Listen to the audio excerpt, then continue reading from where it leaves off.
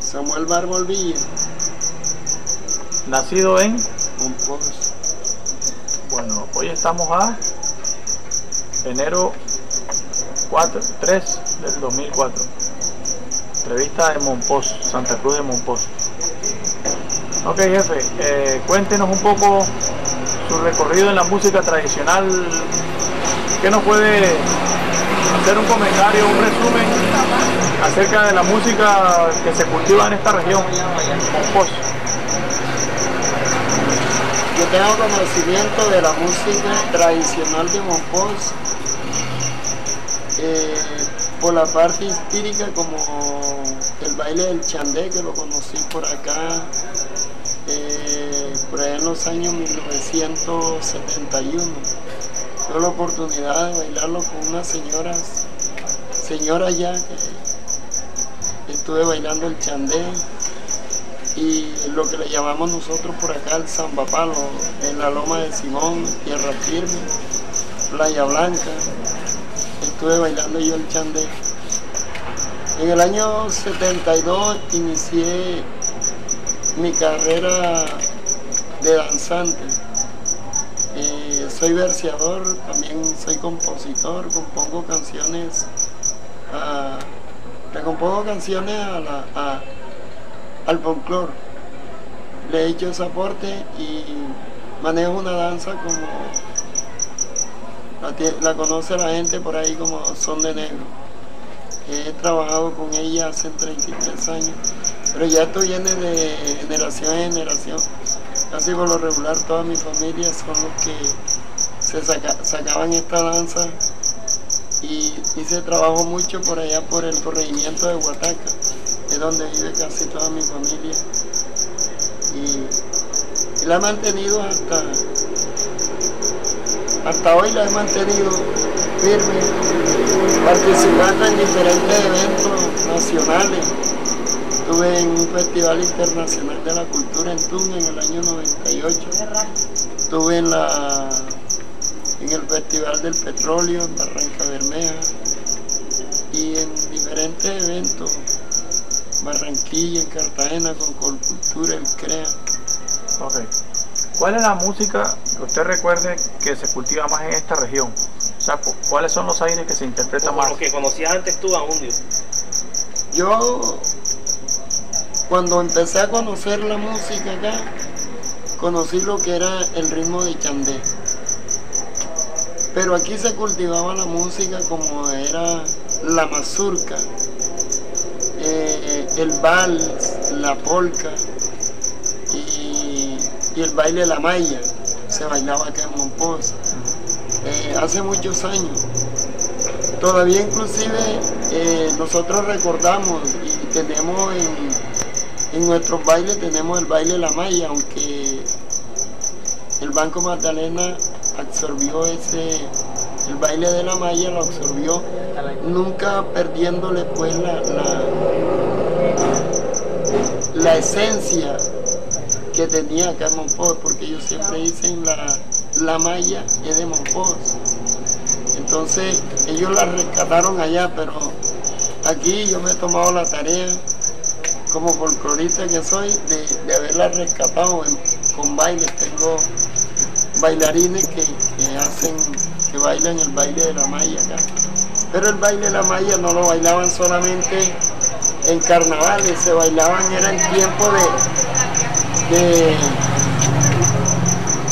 en tiempo de, fiesta de agosto, que para salir a repartir las parejas salían bailando el baile de la malla y detrás iba una, una banda que, les tocaba el ritmo de la malla y ellos iban dejando las parejas de casa en casa. Eh, eh, bueno, con respecto al chandé, ¿a qué le llaman o aquí se le conoce aquí como chandé? ¿Es una danza, es un ritmo? ¿Qué, ¿En qué consiste el chandé? Bueno, cuando yo conocí el baile del chandé, no lo conocí como danza.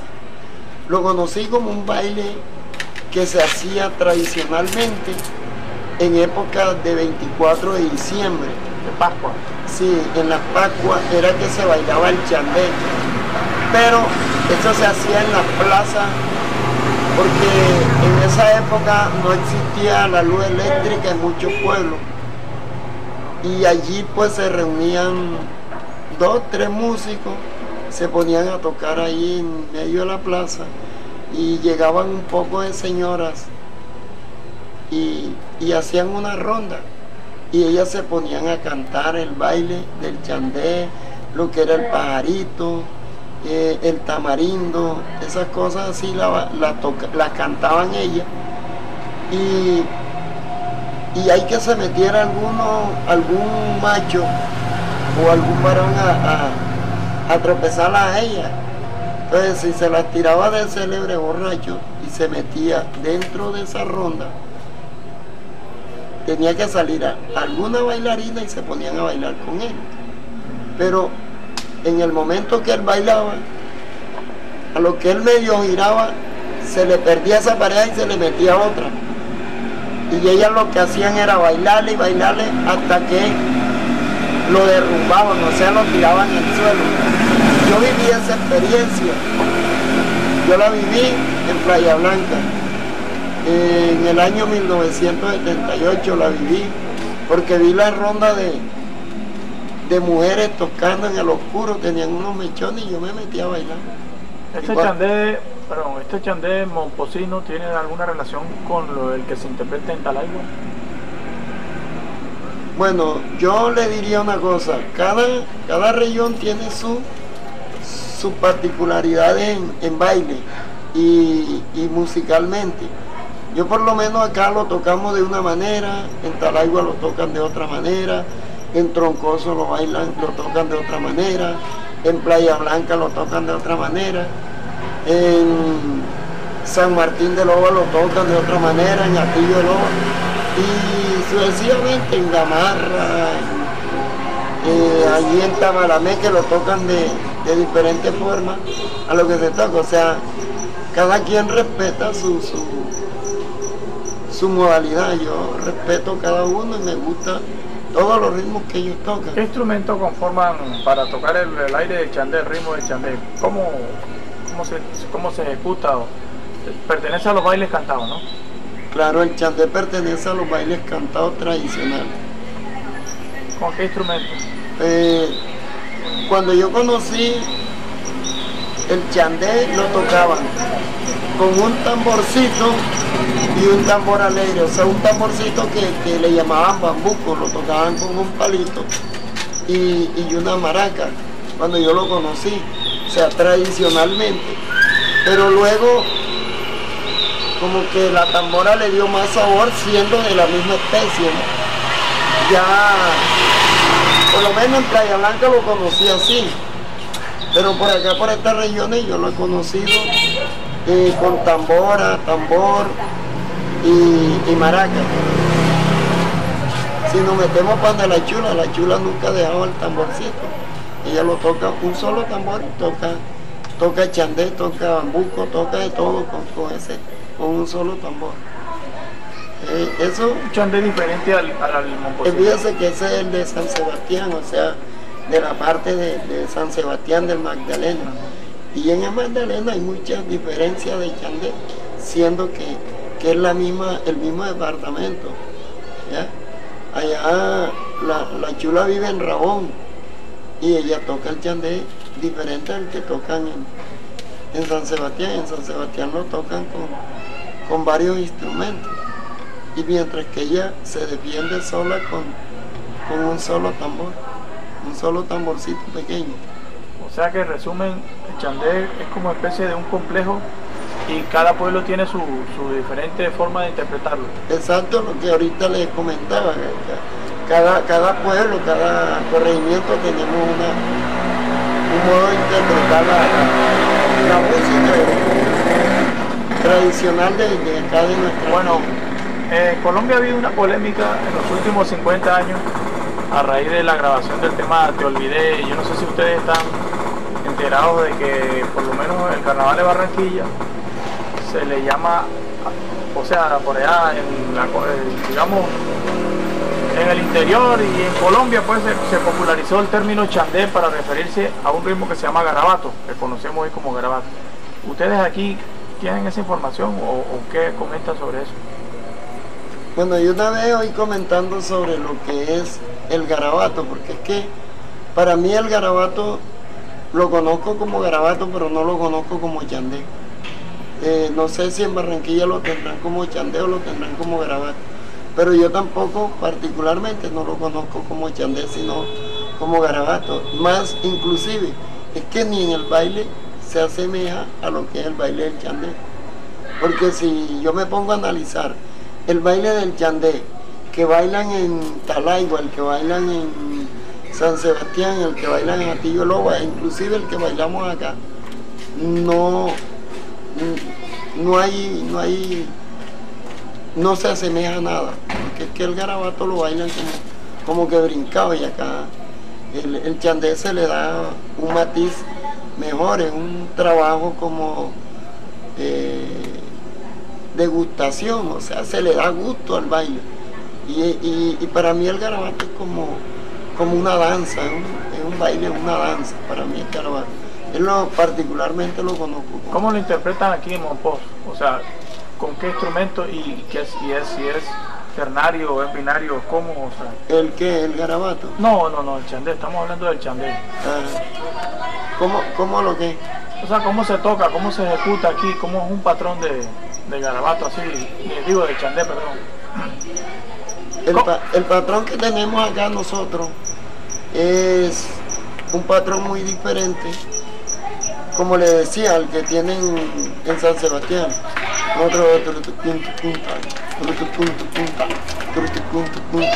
O sea, es un, corrido eh, marcado.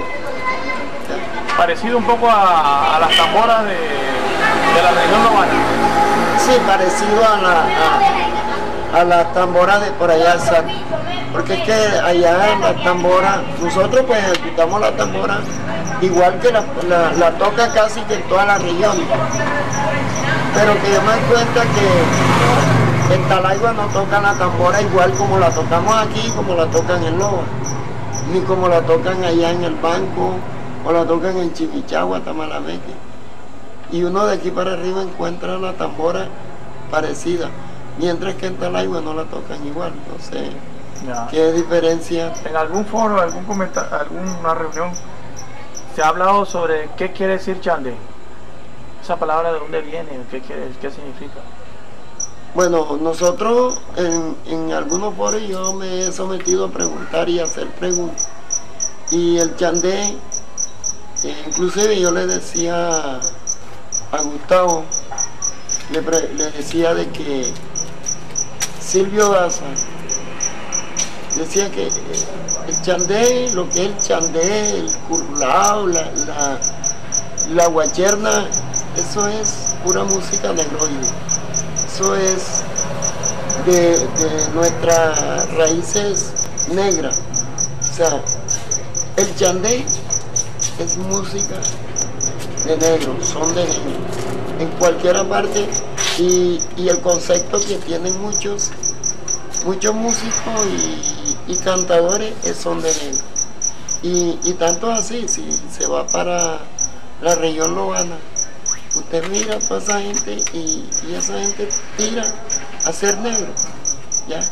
Y por lo tanto para allá se, se, baila. Y otra de las hipótesis que hay es que todo lo que es palmas a tiempo eh, antifonía, o sea, eh, eh, coro, o sea, pregunta-respuesta, un pregón y un coro, eso es negro, ¿no? Se sabe eso.